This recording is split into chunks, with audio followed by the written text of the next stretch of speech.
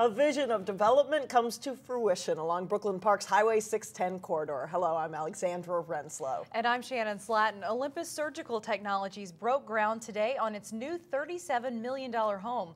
Delane Cleveland was there. He joins us now with more. Hi, Delane. Yeah, Alex and Shannon, there were a lot of cold yet happy people in Brooklyn Park this morning. And you can credit that happiness primarily to one thing jobs. In the shadows of the Target campus, construction crews are hard at work breaking through the frozen tundra on the future home of Olympus Surgical Technologies. Because they wanted to be in the ground, as you see behind us, by, you know, be moving dirt by December 1st. But what on the surface just looks like heavy machines moving dirt Olympus chose Brooklyn Park, Minnesota. actually represents much more to this collection of dignitaries gathered in a nearby tent. And definitely, this facility is going to be one of the crucial, crucial points for us.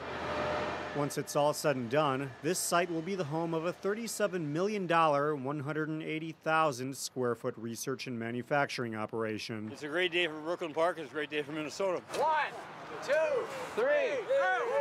A day made especially great because Brooklyn Park beat out several other cities from across the nation for the chance to build a facility. I mean, that's exactly the strength of Minnesota. That's exactly why they chose Minnesota. Olympus's decision to stay in Minnesota brings more than 300 jobs to Brooklyn Park, including 100 newly created positions. This is what we planned for, and we think there's even more coming. Brooklyn Park Mayor Jeff Lunde has reason for optimism. With the expansion of the Target campus, the extension of Highway 610 to I 94, and the proposed Bottineau light rail line, it's an area that has numerous opportunities for growth. Pretty soon you'll start to see more companies. This is not the end.